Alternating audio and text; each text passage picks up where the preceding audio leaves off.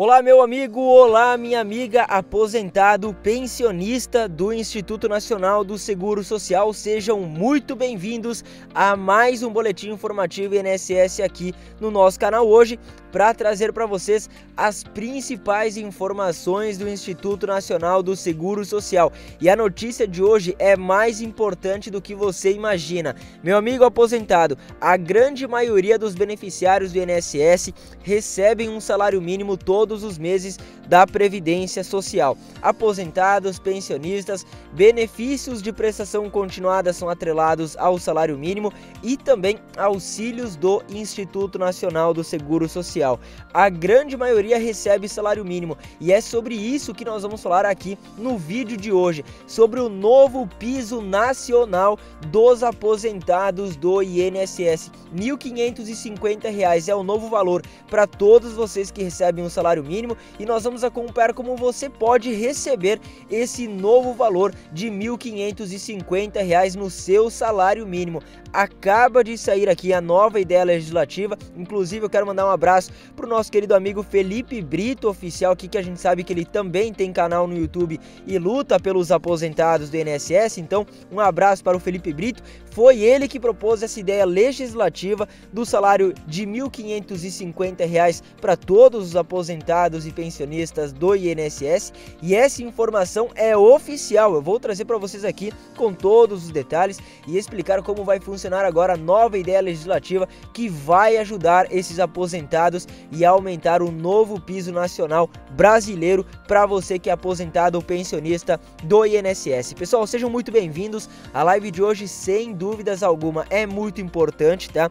Como a gente sabe, lá no mês de maio, o governo de São Paulo, o governo de Tarcísio de Freitas, ele colocou um salário mínimo acima do salário mínimo nacional, entrou em vigor já no mês de junho, tá? E o novo valor é realmente 1.550 para o pessoal que mora lá em São Paulo. Mas e como é que faz então para o aposentado, para o pensionista também receber esse salário de 1.550? Vai estar atrelado ao salário mínimo de São Paulo e é isso que eu vou explicar para você aqui no vídeo de hoje, tá? Então, se você quer saber como aumentar o seu salário mínimo, o que, que você pode fazer para ajudar essa ideia legislativa, você fica comigo até o final desse vídeo que eu vou trazer essa informação com todos os detalhes, tá?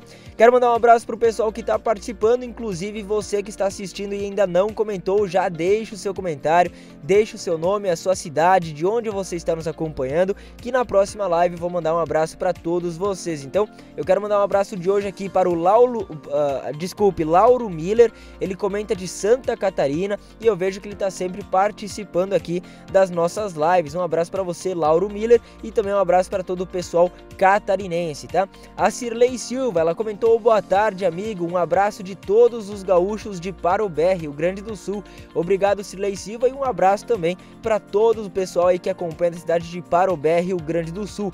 Pérola Martins, Mato Grosso, Pochorel, sou aposentada. Um abraço para você, Pérola Martins, abraço pro povo Mato Grossense aí. Muito obrigado por vocês estarem participando desta live conosco, tá? Vamos lá, pessoal. O, o, com o aval do governador Tarcísio de Freitas, o piso acima do mínimo nacional entrou em vigor em junho. Ou seja, o governo de São Paulo sancionou a lei do novo salário mínimo estadual de R$ 1.550, tá? Mas agora você vai me uh, vai falar assim, bom, eu não moro no estado de São Paulo, ou enfim, eu sou aposentada, não estou atrelado nesse novo salário mínimo de São Paulo. Eu vou explicar o que, que aconteceu nesse aumento que tivemos lá em São Paulo, porque tem tudo a ver com o um novo aumento para os aposentados e pensionistas, tá bom, pessoal? Então presta atenção que essa notícia é muito importante. Põe na tela. O governador Tarcísio de Freitas sancionou na última quinta-feira, lá do dia 25, era dia 25 de maio, no Palácio dos Bandeirantes, a lei que estabelece o novo salário mínimo paulista com o valor de R$ 1.550. Agora, o texto aprovado pela Assembleia Legislativa será publicado no Diário Oficial do Estado, formalizando o trâmite legal para a aplicação do reajuste. O novo valor é superior ao salário mínimo de todo o Brasil, que é de R$ 1.320,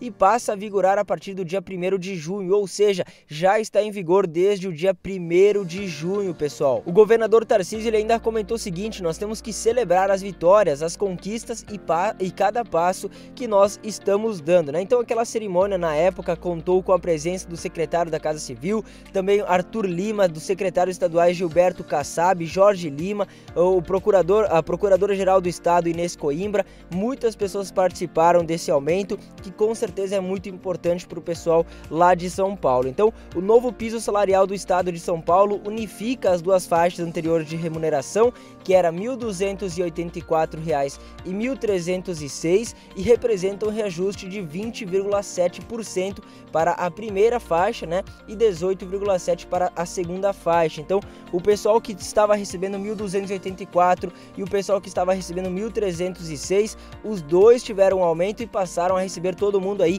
1.550 reais lá no estado de São Paulo. O presidente da Lesp ressaltou a importância do reajuste e o empenho dos parlamentares para aprovar a proposta do governo de São Paulo. E agora eu quero comentar com vocês aqui, né? O presidente da Lesp, ele ressaltou a importância do reajuste. Por quê? Porque a gente sabe, pessoal, que todos os preços estão aumentando, tanto no mercado quanto na farmácia, ou se qualquer coisa que você vai fazer aí tem um preço e está aumentando. Então o salário mínimo ele tem que acompanhar esse aumento e realmente 1.320 reais eu tenho quase certeza que não dá para fazer tudo o que você gostaria de fazer, né?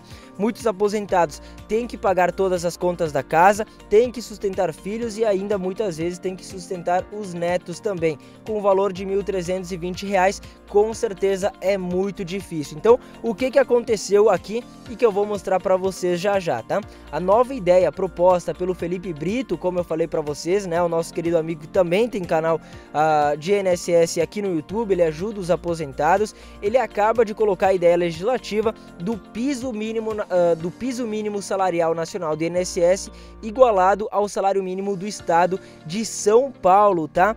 Esse projeto, essa ideia legislativa, ela tem uma data limite para receber 20 mil apoios. Qual que é a data limite aqui? 21 de novembro de 2023. Mas para você acompanhar comigo, vou pedir para o editor colocar na tela agora essa imagem importante. Então você já está acompanhando aqui comigo, ideia legislativa, piso mínimo salarial nacional do INSS igualado ao salário mínimo do estado de São Paulo, tá? Aqui no canto direito dá para ver data limite para receber 20 mil apoios, 21 de novembro de 2023, ideia proposta por Felipe Brito oficial. E o que que essa, uh, essa ideia ela fala aqui, pessoal? A proposta legislativa visa garantir um reajuste anual para os benefícios de aposentadoria e pensão concedidos pelo Instituto Nacional do Seguro Social, utilizando como referência o valor do salário mínimo vigente no estado de São Paulo, atualmente estabelecido em R$ 1.550. Reajuste igualitário ao salário mínimo do estado de São Paulo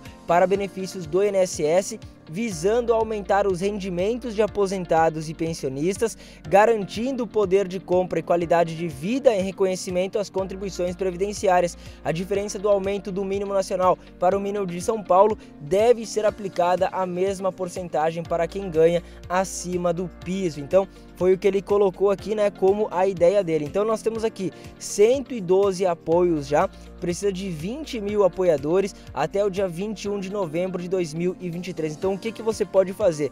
Você pode entrar no site do Senado agora mesmo, tá? Do E-Cidadania, pesquisar por essa ideia legislativa e apoiar, né? Vai estar tá aqui, como você pode ver, um um retângulo verde escrito apoiar, você clica ali para apoiar essa ideia legislativa. Precisa de 20 mil apoiadores para que essa ideia vire um projeto de lei e a gente possa lutar pelo salário de R$ 1.550 para aposentados e pensionistas do INSS. Pessoal, comenta aqui se o um novo salário de R$ 1.550 iria ajudar você nessa situação, qual que, é, uh, qual que é a sua situação recebendo um salário de apenas R$ 1.320 ou se para você já é suficiente esse benefício. Deixa aqui a sua opinião que é com certeza muito importante e se você vai apoiar esse projeto, essa ideia do Felipe Brito, tá? Eu agradeço muito essa presença, um grande abraço para você e vamos lutar pelos aposentados. Tchau, tchau. Fala pessoal do canal Boletim INSS, tudo bem com vocês? Gostaram da notícia? Pois é, se você tem margem, é aposentado, pensionista, BPC ou servidor, tá aí com receio de ir no banco fazer o seu contrato de empréstimo consignado, tem medo que coloquem um seguro prestamista, tem medo de surpresas no meio do contrato, não se arrisque, tá? Tá aqui o nosso contato. Você, amigo fiel do Boletim INSS, chama agora a gente aqui, nós vamos dar aquele atendimento que você merece, liberar o seu dinheiro em parceria com o canal Consignado e Inteligente, um canal que vem atendendo atendendo muitos de vocês há muito tempo e agora está aqui no Boletim INSS. É só chamar que a gente resolve o seu problema. Beleza? Aposentado, pensionista, servidor e BPC Loas. Estou esperando você. Um grande abraço.